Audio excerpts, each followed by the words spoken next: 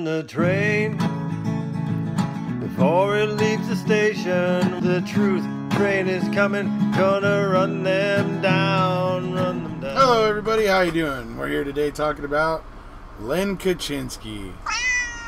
You know, that guy. Right? So, decision came down today from the Wisconsin Supreme Court.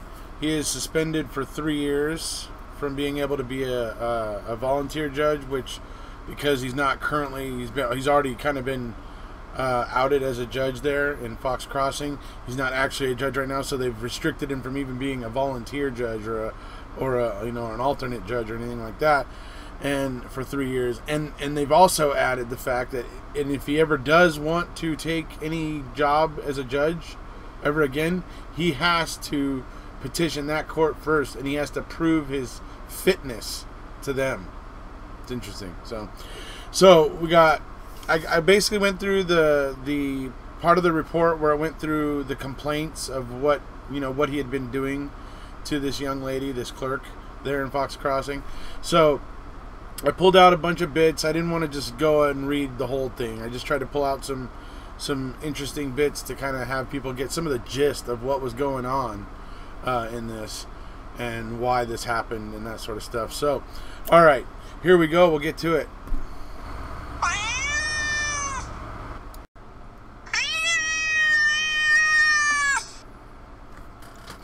Judge Kachinsky's emails and his disclosure about knowing the location of MB's mother upset MB sufficiently that they led her to lodge a complaint against Judge Kachinsky with the village's human resources manager, Lisa Malone. The village is like the the place where they where the courthouse, I guess it's like a civic center type thing. Anyway, it's called the village. It has you know so there's a managers and human resources manager and that sort of stuff. So after the complaint, village manager Jeffrey Sturgill had a telephone conversation with, with Judge Kachinsky in which he advised Judge Kachinsky that MB was overwhelmed by Judge Kachinsky's non-work communications. Sturgill believed that Judge Kachinsky agreed to change his behavior because he did not want to lose MB as an employee. On May 4th of 2017, the day after Sturgill spoke with Judge Kachinsky, Malone met with Judge Kachinsky and, M, uh, and MB. Malone explained to Judge Kachinsky that the concerns with his behavior.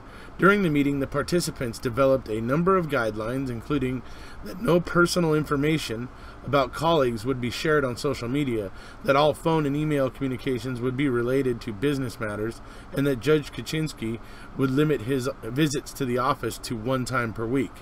Because there's only one night a week he would come in to be judge. And so they were just wanting to limit it to that one day. The judge, the Judicial Conduct Panel found that at the conclusion of this meeting, it should have been clear to Judge Kachinsky that he was expected to limit his communications with MB to work-related matters. Judge Kachinsky, however, ignored the guidelines that had that had been developed. Indeed, his subsequent conduct indicated that he was upset as a result of the meeting and was determined to express his displeasure to MB and to reject any limitation of communications to work-related matters. On the following Monday, just three days after the meeting, Judge Kachinsky sent, sent MB an email that began with personal information about what Judge Kachinsky had done over the weekend. On three occasions during that week, Judge Kachinsky came into the municipal, municipal court offices. He sat close to MB's desk facing her. He did nothing except tap his pen and make cat noises. On one visit, Judge Kachinsky continued this extremely odd behavior for 45 minutes. During one of those visits, Judge Kachinsky also told MB a story about a dog being raped and then repeated the story a second time. On Thursday of that week, Judge Kachinsky sent an email to MB discussing their personal relationship that made it clear he would not abide by any work related limitations. He claimed that some short general conversation about interpersonal difficulties is really work related as we have to get along well as personal and professional friends to do our best. He also referenced an evaluation of MB that he would be completing in the next week. Really, Len? Yeah, that's real subtle, dude. Really subtle. Jeez. On Thursday, May 24th of 2017, Judge Kachinsky sent another email to MB in which he inquired about having a party to celebrate his overcoming a medical problem that the two of them had discussed at the end of 2016. MB replied that they did not need to have a meeting about such a party, but Judge Kachinsky continued to ask for her input about such a party, including through an email sent to her home email account. In that same email, Judge Kachinsky again brought up their personal relationship, acknowledging that it was strained, which concerned him. Uh, he asked if there was something either of them could do that would bring back the happy relationship that, that existed from May 2016 to March 2017. I don't know. One suggestion, Lynn. Quit, quit you know, acting like a creepy stalker. Maybe. Uh, just a just a just a thought. Anyway, MB sent a response email that having Judge Kachinsky come into the office to discuss plans for this party puts me on the spot, which she did not want. This prompted a reply from Judge Kachinsky. In the reply, Judge Kachinsky acknowledged that he had made her uncomfort- uncomfortable and lamented the loss of their discussions of personal matters. It's like, like this is odd to me. I mean, look, this is just somebody. This is just like an, a kind of an acquaintance in his in your life or whatever. I mean, this is not somebody.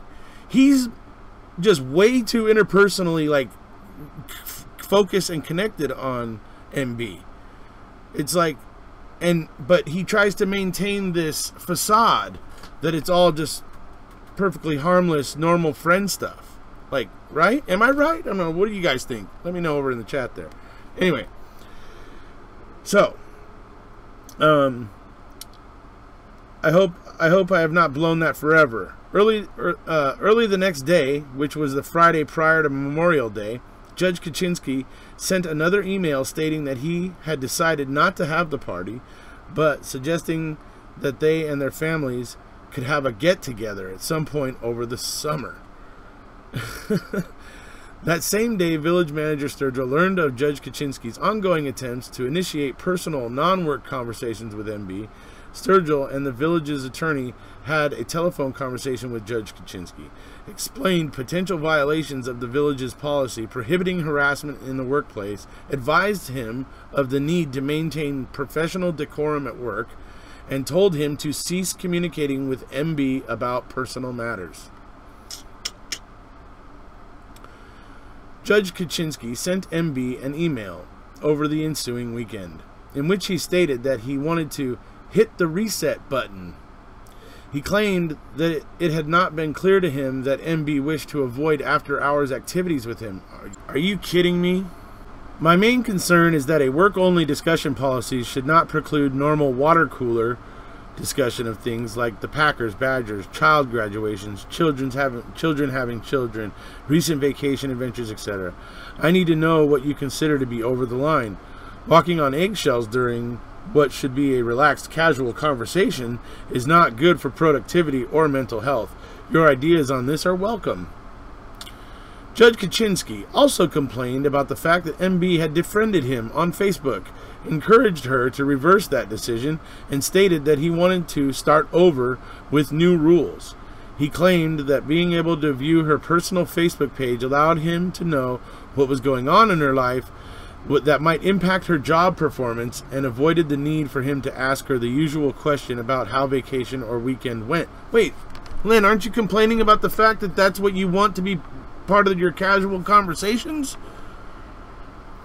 But now you now you're saying you need her to friend you on Facebook so you can find out these things. I mean, yeah. Super creepy, dude. Way creepy. You creeped this lady out, Lynn. Way creeped out. I don't, I, I don't know how you could fail to realize that, but anyway.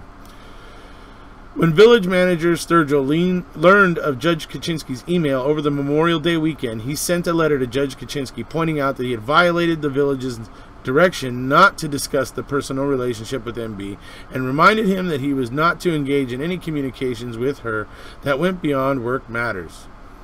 Approximately two weeks later, Judge Kachinsky sent a right?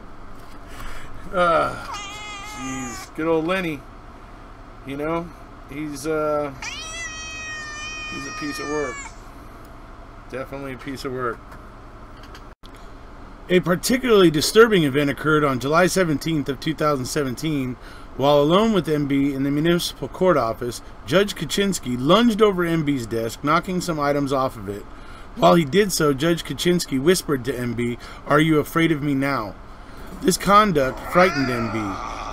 The Judicial Conduct Panel found that this action by Judge Kachinsky was an attempt to intimidate MB into acquiescing in his fixation on a personal relationship with her, along with the fact that he he actually at one point was threatening that he would fire her, that he was going to fire her, that it would be that that that she had created such a toxic environment, work environment by by refusing to, you know, have a personal level relationship with him that he, he was saying she was detrimental to the to the situation and that he would fi- he would exercise his right to terminate her employment. And yeah and the and the and the, the the judicial panel just noted that he believed he could fire her when he was saying those things. He goes further as to like badger her you know or well he's he's writing all this stuff to the the uh, village human relations uh, person. And he's basically making all these these these grandiose statements. I mean it's wild. It's weird. I mean he he, he clearly just has no clue. You know even with more and more people getting involved in it and, and trying to tell him you know like dude you're going way off the deep end here. And he's just ignoring it. You know? It's like wow all right so this is a, an excerpt from an email that len sent to MB. In short, if you want to restore a happy workplace, the first step is to stand up on your own and not use the administration as a crutch. I can overlook what I consider poor judgment in handling a situation. I cannot tolerate a weakling unwilling to have free and open discussions with the boss or insubordination. I mean, are you kidding me, dude? No, look, I have never in my life had a boss that expected the things that this man expects. Never in my life have I had a boss that wanted to, that insisted on being that much a part of my life. You know, it's bizarre and weird, creepy as hell.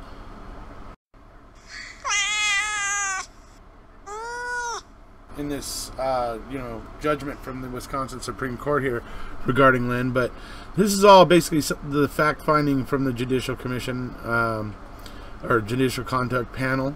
So, the next day after his outburst, Judge Kachinsky sent a letter to MB stating that his October 27, 2017 letter of reprimand had been intended to be a teaching tool to catch your attention. The email contained the following statements. By this time next week, some things are going to happen that will cause a lot of fire and fury at the municipal building. No, I am not resigning. Just be psychologically re- prepared. Have a good weekend. The Judicial Conduct Panel found that this was not related to the work of the municipal court. It found that the email, including the reference to fire and fury, was so disturbing to MB and to village officials that the village police were notified. When the village police chief interviewed Judge Kachinsky about the email, he giggled more than once in response to the police chief's question. He's giggling. Yeah.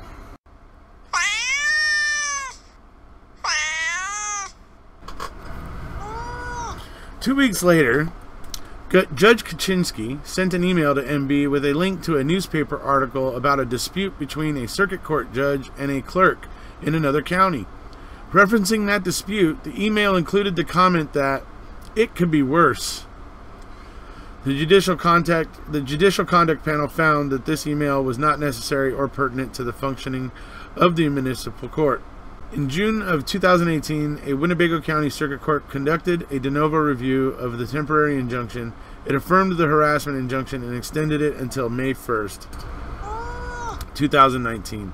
During the hearing, the circuit court judge advised Judge Kachinsky that the court was issuing an injunction prohibiting any conduct or contact between you and MB, other than that absolutely necessitated through the course of your employment.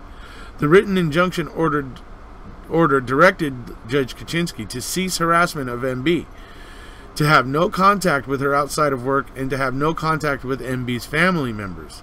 The written injunction further specified that all communications between respondent and petitioner shall be limited to what is necessary to perform the functions of the village of Fox Crossing Municipal Court. It further explained that communications related to the personal relationship or personal rapport between respondent and petitioner are not included in the operation of the court and are prohibited under this section.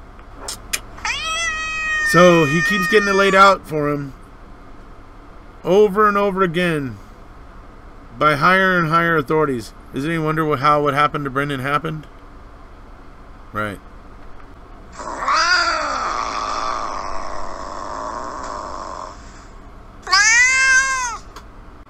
In addition, because Judge Kachinsky's misconduct demonstrates that he currently lacks the judicial temperament and the insight into his actions that are required for a judge to preside over and manage a court, we also require him to petition this court and successfully demonstrate to us that he is fit to serve as a reserve municipal judge before he may request an appointment to serve as a reserve municipal judge from the chief judge of the applicable judicial district. It is ordered that Leonard D. Kachinsky is suspended from eligibility for appointment as a reserve municipal court judge for a period of three years commencing July 3, 2018. It is further ordered that before Leonard D. Kachinsky may request appointment as a reserve municipal court judge by the chief judge of the applicable judicial administrative district under Wisconsin statute 800.065, he must first file a petition with this court and demonstrate through appropriate evidence his fitness to serve as a reserve municipal court judge. So, that's it. He's officially suspended and honestly when I look at this and I and I see this where they're you know the way they've worded it that he needs to petition them first and prove to them that he is fit I think that's basically them, you know, in no uncertain terms saying, yeah, we think you're getting a little bit loose in the head there, Len. So, yeah, if you want to serve as a judge again, you're going to have to come and show us that you're fit to do so. So, I think that that, I think that makes this all a little more permanent um, than it might seem. But, um, because I don't think his, I don't think he's getting any more, um, I don't I don't imagine this problem is going to get better. I imagine that this problem he's having is only going to get worse, uh, and it probably is a symptom of him getting old, uh, some kind of mental condition uh, or of some sort. So, anyway, that's what happened to Lynn Kachinsky. All right, so my few little thoughts on this. Len, maybe you needed a drug problem. Maybe you might have been able to get off a little easier like Kratz did if you had a drug problem.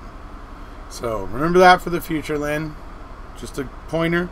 Uh, drug problem might help you uh, get less suspension time. Uh, you know, that's what we learned with Kratz. He only got like what, six months, four months, six months, whatever it was he got after, you know, all the things that he was sexting and everything, the domestic violence, you know, victims and everything. So, um, Either that or or the courts in Wisconsin are starting to realize that there's an entire world looking at them. And every time the lawyer for Brendan Dassey pops up in the news in this embarrassing way, maybe they just were getting tired of that. They felt it was an, it was enough was enough, and that's why they wanted him out. I don't know. What he did is actually, even though it's creepy and uh, weird, and I f- totally feel sorry for what that clerk had to go through.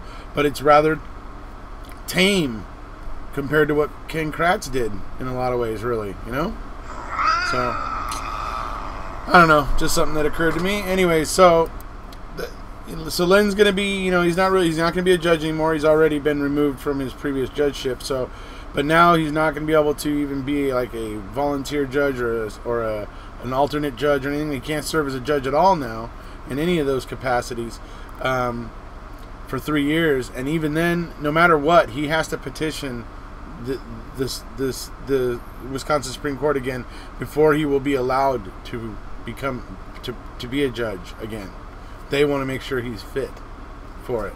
If if the so basically he has to get their approval if he wants to be a judge again. And you got to imagine they put that stipulation in there for a reason. Like they have concerns about his ability to be able to continue being a judge, right? So I would say it's probably not very likely that they will ever sign off on him becoming a judge again. You know, so I don't know, just some of my thoughts about it. But anyways, just wanted to share some of this with you guys here today. Um, uh, hopefully, we'll see you guys here in another video tomorrow, the next day. Uh, actually, tomorrow, actually, I will be on with uh, Steve Rado from Eagle Nation Cycles, along with two of the hostages from the um, uh, the hostage situation uh, in 2015 at Eagle Nation Cycles. So, uh, we're gonna have, like I said, the owner Steven Aredo and two of the hostages from that day. Um, we'll talking to them live tomorrow. So if you guys want, tune in for that. If you haven't already, please hit subscribe, and we'll see you